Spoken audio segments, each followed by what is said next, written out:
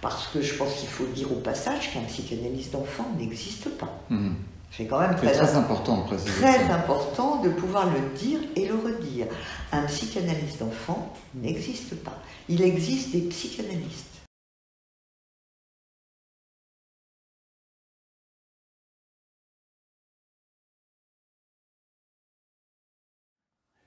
Bonjour Catherine Vanier, Euh, tout d'abord merci d'avoir bien voulu inaugurer cette série de vidéos que Espace Analytique euh, va proposer euh, sur le net concernant la psychanalyse. On a eu évidemment envie de commencer par la psychanalyse avec les enfants.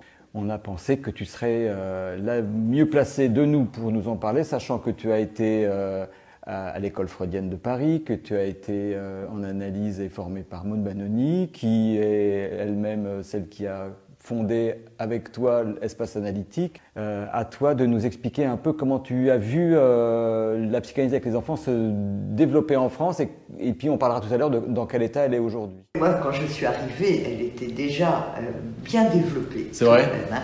Mais oui, alors la psychanalyse d'enfant, la première fois qu'on entend parler de psychanalyse, euh, c'est par Freud. Par Freud, de psychanalyse en général et de psychanalyse d'enfant, Mhm. puisqu'il a euh, énormément euh, euh, parlé des enfants et de la sexualité infantile. Vous savez, ça lui a valu quelques, quelques problèmes, mais il, a, il s'est très bien défendu. Et puis, surtout, il a parlé du petit Hans, premier petit patient dont on entend parler euh, euh, en psychanalyse. Alors, le petit Hans, il ne l'a jamais vu, on le sait, hein, puisque c'est Max Graf, qui était euh, proche de Freud, à qui Freud a demandé de lui raconter ce qui se passait à la maison, de lui raconter un peu l'histoire euh, de Hans, euh, les réflexions qu'il pouvait faire, les réactions qu'il pouvait avoir. Et très fidèlement, le papa d'Hans a raconté à Freud toute l'histoire. Et Freud ne l'aura reçu qu'une fois. C'est ça, ouais. Il raconte l'histoire de cet enfant dans les cinq psychanalyses Mhm. sur laquelle tous les psychanalystes d'enfants travaillent aujourd'hui, ou ont travaillé à un moment ou à un autre.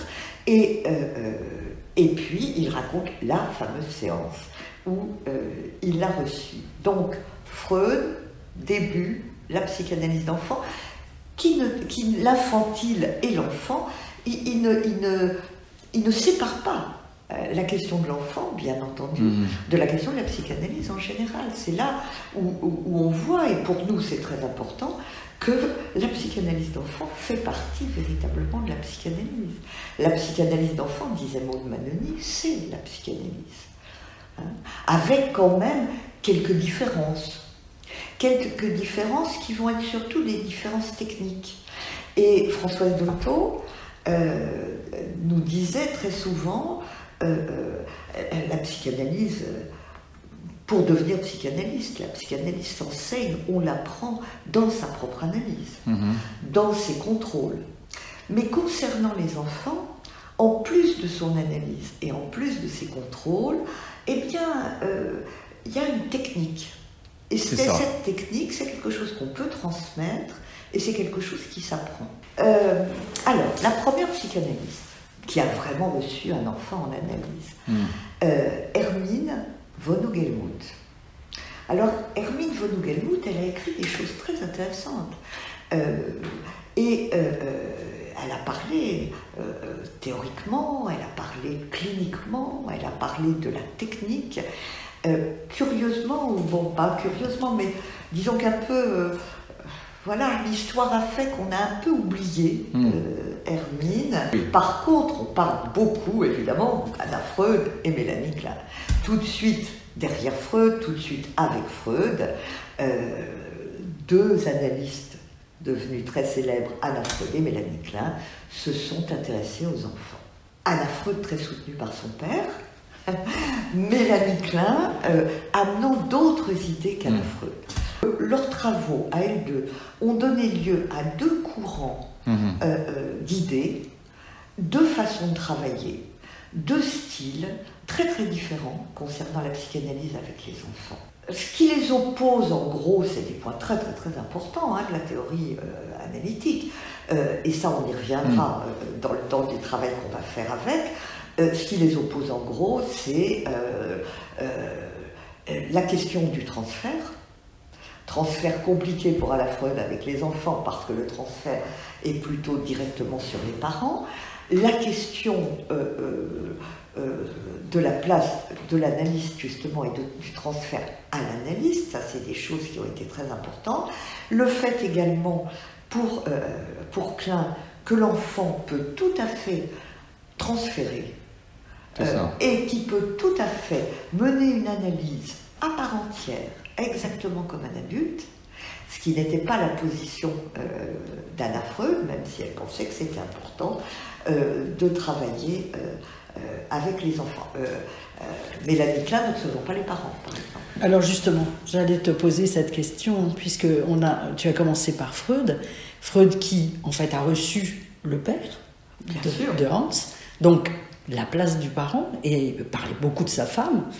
Et là, tu viens justement d'aborder quelque chose d'extrêmement important, je crois, qui est aujourd'hui, qu'est-ce qu'on fait des parents et lorsque on est soit du côté de l'analyse anafreudien ou Mélanie Klein. Est-ce que aujourd'hui on en est encore là? Mais voilà, je, vais y venir.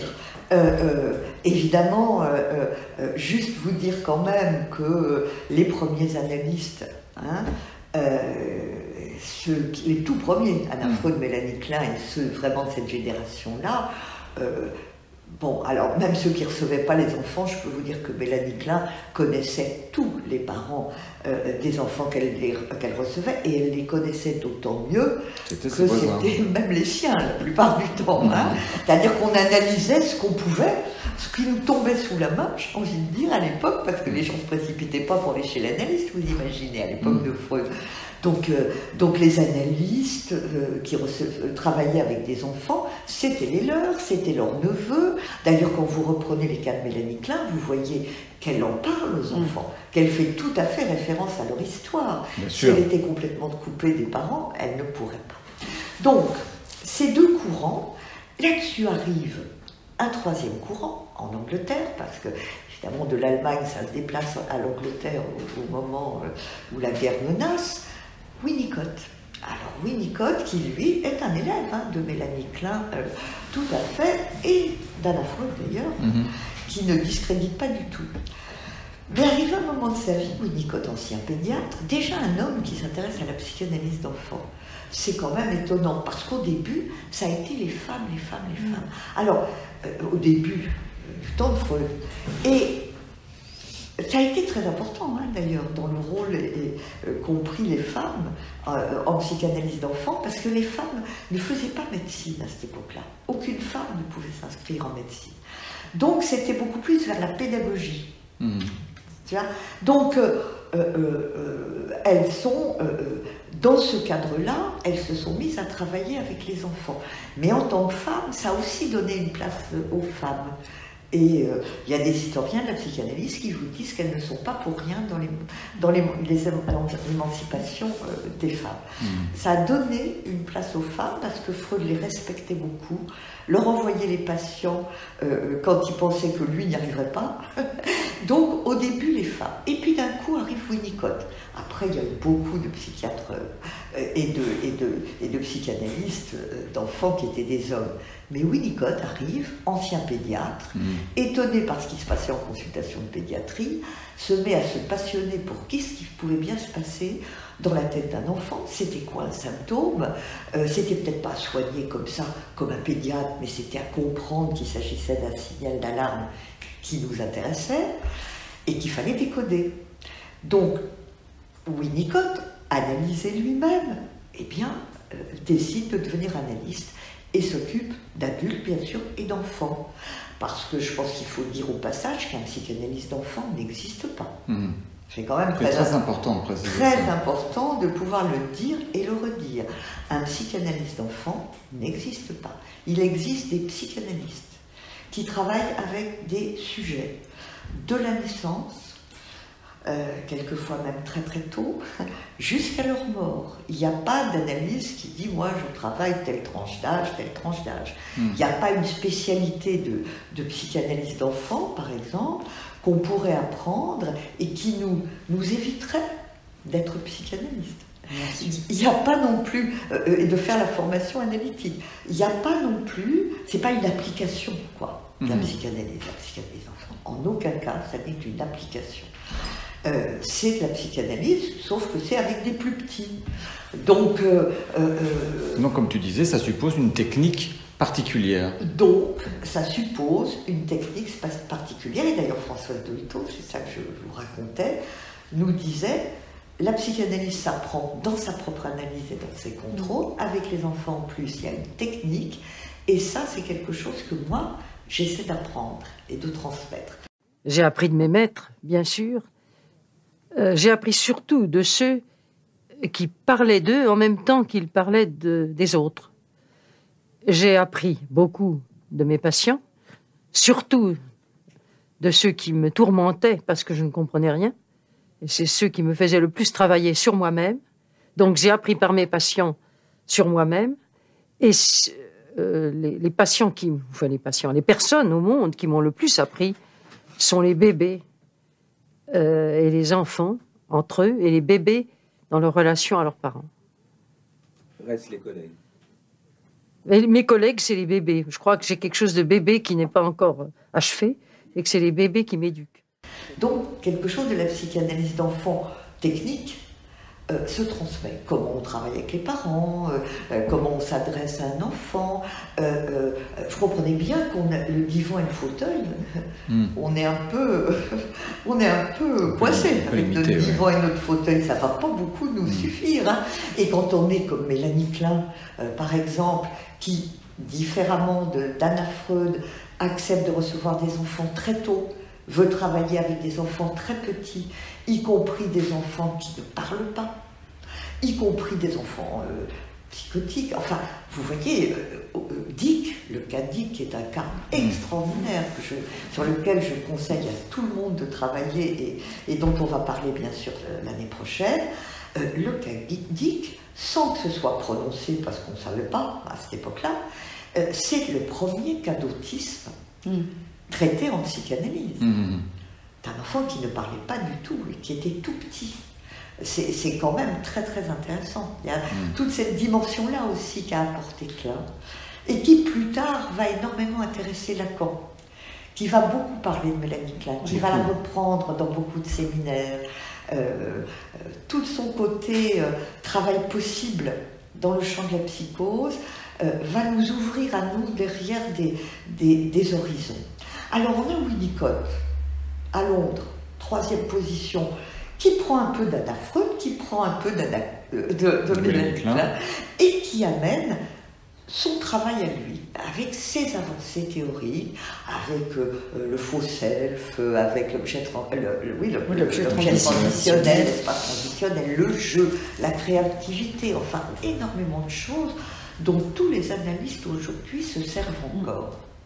Donc, c'est à partir de ces courants-là, énormes, énormes et vraiment décisifs, que ça s'est construit par la suite.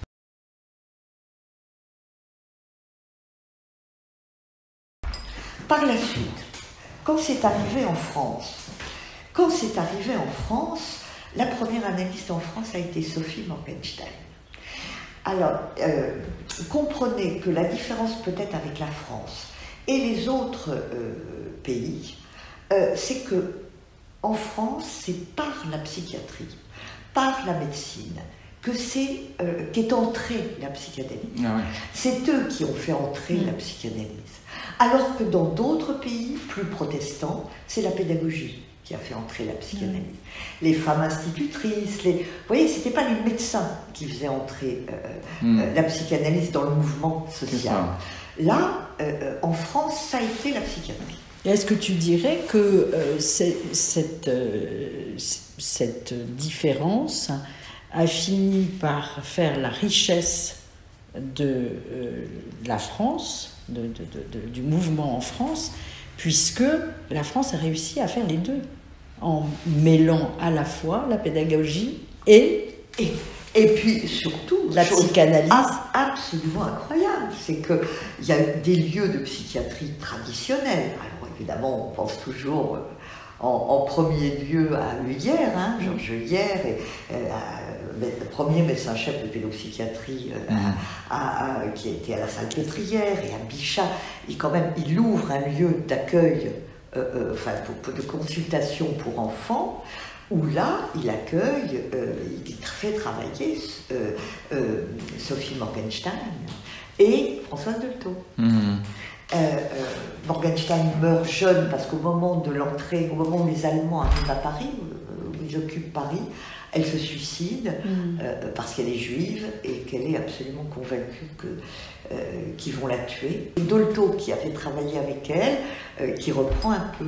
Et plus tard, Manoni viendra aussi travailler avec Dolto. Vous voyez, ça se transmet, mm. chacun met en place, parce que la psychanalyse, ça se réinvente à chaque fois, Lacan nous apprenait ça, et ça se transmet vraiment dans la clinique, dans le travail. Euh, euh, Dolto nous disait tout le temps qu'elle avait appris, par exemple, à lire un dessin d'enfant avec ah Sophie Morgenstein.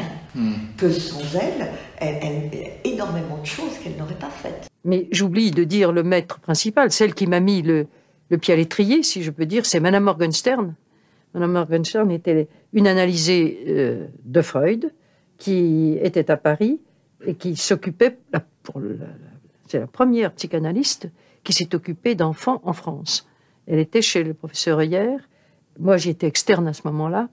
Et grâce à elle, j'ai été à même, parce qu'elle m'avait chargé, elle avait beaucoup de travail, elle m'avait chargé d'écouter les enfants, rien, pas d'autre chose que de les écouter régulièrement, quelques enfants qui étaient euh, envoyés pour des symptômes très graves, parce qu'on envoyait à ce moment-là, il fallait vraiment qu'un enfant soit gravement atteint pour qu'il soit envoyé chez Œillère, qui était la seule clinique pour les enfants en France, qui s'occupait des troubles relationnels et pas des troubles neurologiques, qui éliminait ce qu'il y avait de neurologique pour comprendre qu'il s'agissait de quelque chose de psychologique qui relevait d'une psychothérapie, c'est-à-dire de la relation à quelqu'un.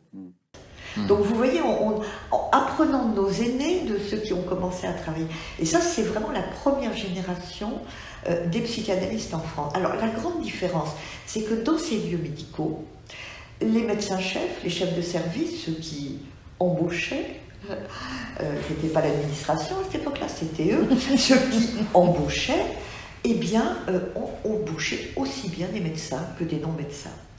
Ben Donc sont venus travailler avec eux euh, euh, des psychanalystes, comme, comme Maud par exemple, qui n'était pas médecin, mais qui a pu y travailler en tant qu'analyste dans ces lieux de médecine.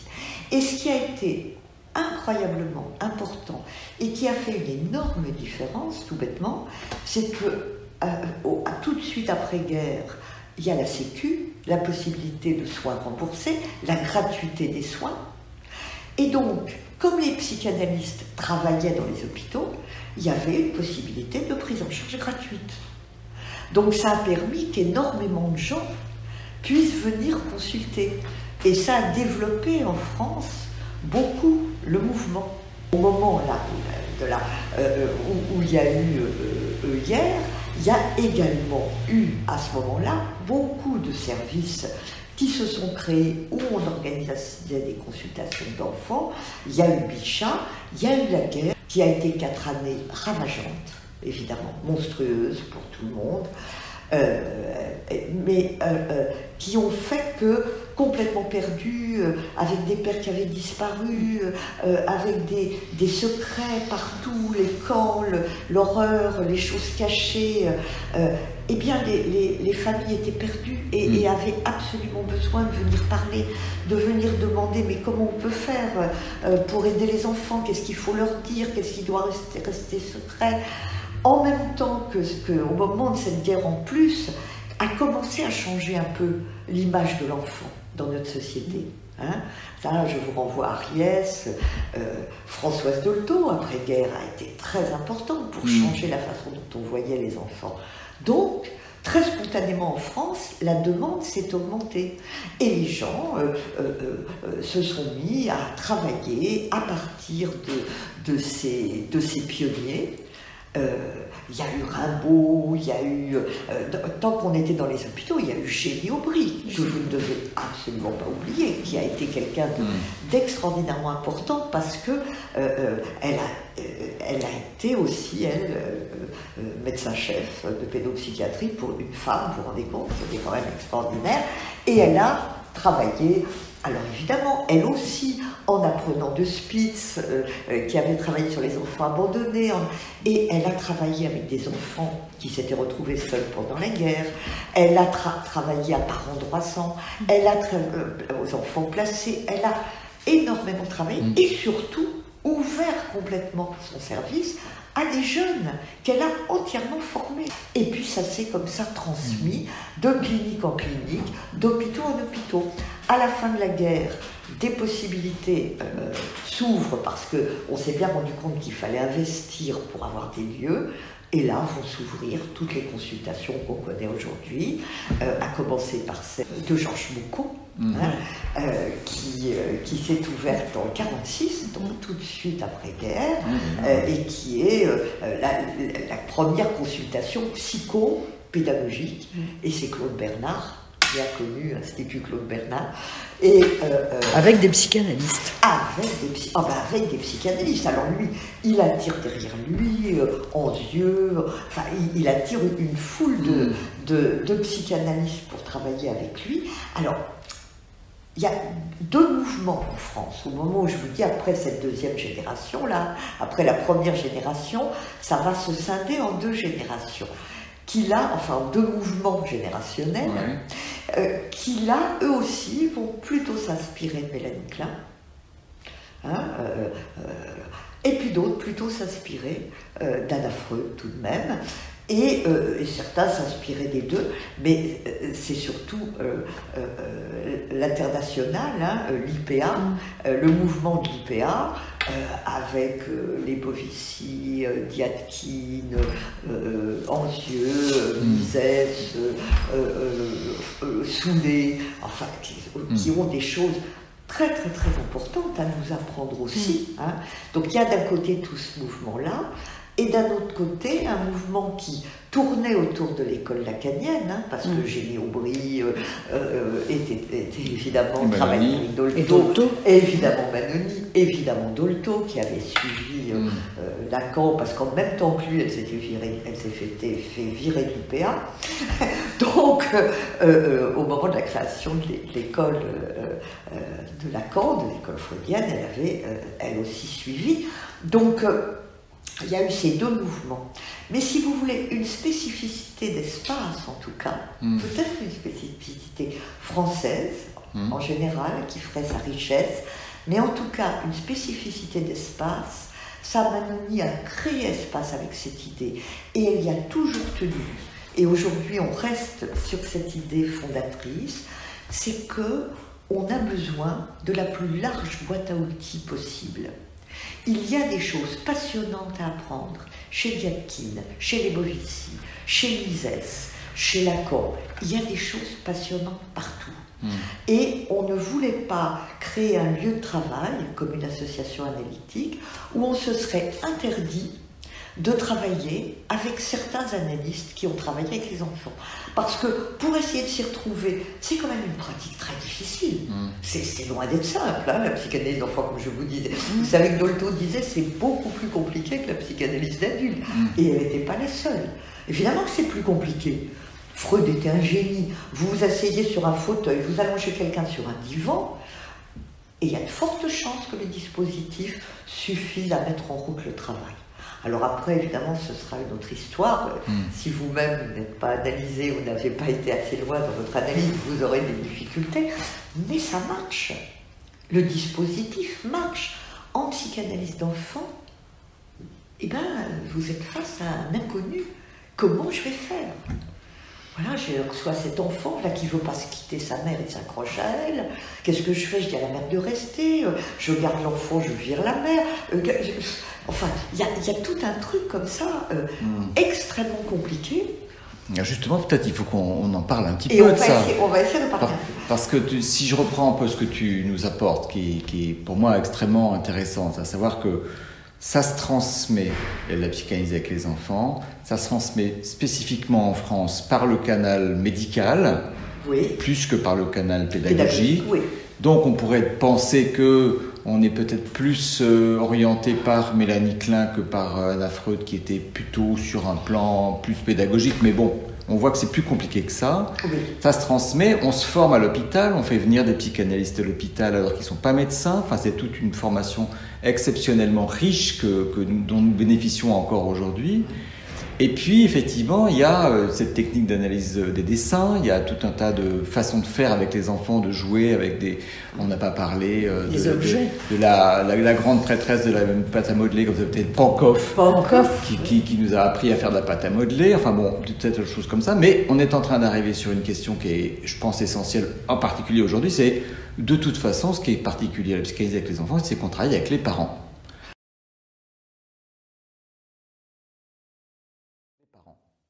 Et comment on fait avec les parents? Comment on se débrouille avec les parents? Est-ce qu'on est qu'on envisage la psychanalyse comme une façon d'aider l'enfant à, à, prendre son autonomie par rapport à une dynamique familiale euh, compliquée? Comment, comment, comment on peut penser ça aujourd'hui, euh, le, travail avec les enfants? Et les, parents. et, les parents, oui, et les parents des enfants. Écoutez, ça c'est une question qui me touche beaucoup, particulièrement aujourd'hui, et dont je pense qu'il est très très important de parler et qu'il faut qu'on travaille aussi euh, euh, dans nos groupes, notre association. Euh, parce que c'est vrai qu'il se passe quand même quelque chose d'assez terrible en France aujourd'hui, qui est une qui est une sorte de, de critique, de discrédit, de discrédit fait à la psychanalyse et qui ne va pas, quoi. C'est ben véritablement un malentendu. C'est véritablement euh, ne pas comprendre euh, ce que c'est que la psychanalyse d'enfant et que le rôle d'un psychanalyste. C'est-à-dire que les parents, bien sûr qu'on travaille avec eux. C'est impossible si vous, euh, si votre référence, une de vos références, c'est c'est Freud, si mm. une de vos références c'est Lacan, vous ne pouvez pas ne pas recevoir euh, les, parents. pour essayer de comprendre ce qui se passe véritablement. Dans quoi cet enfant euh, euh, évolue? Vous voyez, Maud Manoni, pour elle, ça a été extrêmement important de pouvoir repérer quelque chose qui est de l'ordre du fantasme. Dans quel fantasme l'enfant est pris, et si on arrive à déjouer un peu, desserrer un peu les liens de ce fantasme, que ce soit avec un nouveau-né, que ce soit moi avec les prématurés avec lesquels j'ai pu travailler, des bébés de 400 grammes, hein, eh bien, ou avec des enfants beaucoup plus grands, ça n'avancera pas. Donc, euh, il faut que quelque chose se, fasse. Il faut entendre que les parents sont en très grande difficulté, eux aussi, parce qu'un enfant qui va mal vous met en difficulté. Bien sûr. Voilà, terriblement en difficulté. Euh, un enfant qui va mal vous fait dysfonctionner. Vous voyez, un enfant qui se met à aller mal, qui se met à pas travailler à l'école, qui se met à complètement désobéir, qui se met à plus dormir, eh ben c'est difficile mmh. de, garder euh, euh, tout son sang-froid par rapport à lui. Donc les parents sont forcément en difficulté. Et les parents ont besoin d'aide. Mais l'aide que nous, on apporte en tant que psychanalyste, dans l'idée du groupe en France, c'est que ce n'est pas que de la guidance infantile.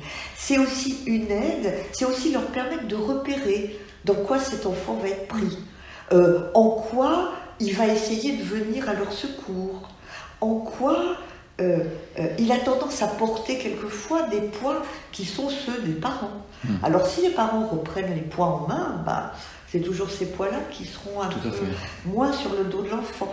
Mais les parents qui disent les psychanalystes, ça ne va pas parce qu'ils me culpabilisent, écoutez ça, non. Hmm. Jamais aucun psychanalyste n'a culpabilisé un parent. Le problème, vous comprenez, c'est que euh, on n'a pas besoin de ça pour être culpabilisé. Si on est parent, on a tous des enfants. On est déjà coupable. On est déjà, dans notre tête, on est déjà coupable. Et on n'a pas besoin de rencontrer un psychanalyste pour se sentir coupable. La culpabilité Ça va de soi. Au contraire, le travail de l'analyste va être de déculpabiliser les parents. Donc, euh, donc il faut arrêter d'amener ces théories toutes faites, euh, euh, enfin par des opposants à la psychanalyse, qui d'ailleurs la plupart du temps n'ont jamais rencontré un analyste de leur vie, mmh. disons-le. Hein. Mais ils ont entendu dire que les analystes disaient qu'il y a des problèmes familiaux. Oui, il y a des problèmes familiaux. Quand un enfant va mal, il y a des problèmes familiaux. Mais ça n'est en aucun cas, parce qu'il fait dysfonctionner tout le monde, hein, mais ça n'est en aucun cas la, faute, des parents. Hmm. C'est quoi cette histoire? Et encore moins la faute de la mère. Hmm. Et encore moins la faute de la mère, bien entendu. Donc on essaie de comprendre ce qui s'est joué, ce qui s'est passé. On essaie de comprendre pourquoi cet enfant-là, particulièrement, va invalider d'une certaine façon les capacités de bien faire des parents. C'est le métier impossible, hein, de Freud. Et voilà, éduquer et psychanalyser, deux métiers impossibles. Mais enfin, même si c'est impossible, psychanalyser, on essaie de s'y employer quand même au maximum en redonnant euh, un, espace, euh, euh, un espace de liberté et aux parents par rapport à leurs enfants et aux enfants, de façon à ce que se dénouent des enjeux qui étaient des enjeux quelquefois là même, comme Manoni ou, ou Dolto nous l'aurait dit, des générations avant. Mhm. Des générations avant. Donc, euh, et que inconsciemment, on hmm. se transmet. Et, ça, c'est des choses qu'on peut les aider à repérer. Quand j'ai travaillé avec toi, euh, tu, tu, as dit quelque chose qui m'a beaucoup frappé, que j'ai toujours gardé pour travailler, c'est que euh, les parents sont des alliés. Il faut s'en faire des alliés. Mais bien sûr il ne faut pas s'imaginer que parce qu'on va déposer à chaque séance un enfant chez son analyste, on n'a plus à s'en occuper. Mm. Hein euh, c'est les parents qui élèvent l'enfant. Ça, Dolto l'a toujours dit. Et Danoni. Euh, ce sont les parents qui sont les responsables de l'enfant. Mm. Donc, évidemment, que c'est avec eux qu'on a travaillé. C'était l'idée d'Anna Freud, hein, faire une alliance avec les parents. Mais si vous ne faites pas alliance avec les parents, vous ne pourrez pas travailler avec, mmh. les, avec les enfants. Et faire alliance avec les parents, c'est pas tant les séduire ou leur dire qu'ils sont des merveilleux parents. Faire une alliance avec les parents, c'est leur faire entendre euh, l'intérêt qu'ils peuvent avoir à essayer de comprendre un peu ce qui leur arrive avec nous. Et d'abord les écouter. Oui. Mmh. Et pour ça, il faut les écouter, mmh. bien entendu. Mais les parents. Alors, comme on a dit beaucoup d'analystes dans, les, dans leurs textes, dans, dans leur théorie, on dit, bah voilà, euh, un enfant qui était comme ça, c'est parce qu'il s'était passé ça dans l'enfance. Et je pense que de là, on en a déduit, les analystes accusent, mmh. euh, accusent les, les parents. Les, les parents.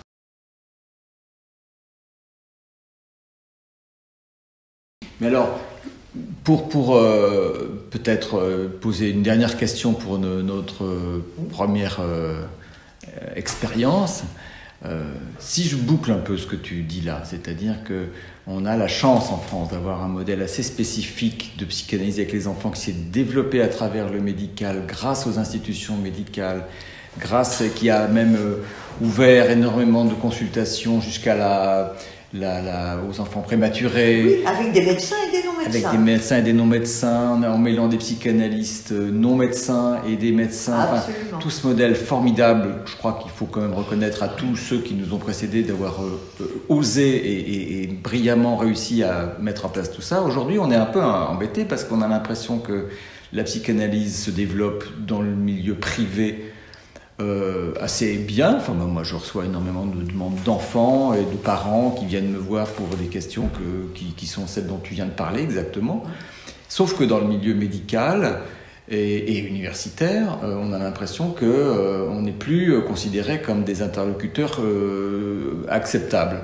Comment on va s'en sortir de ce truc-là? Comment est-ce qu'on va pouvoir continuer à transmettre la psychanalyse si on ne peut plus avoir accès à la transmission médicale? Comment tu, vois ça? Eh ben, Vous voyez, ça prouve bien qu'on est à, un moment absolument passionnant, absolument essentiel.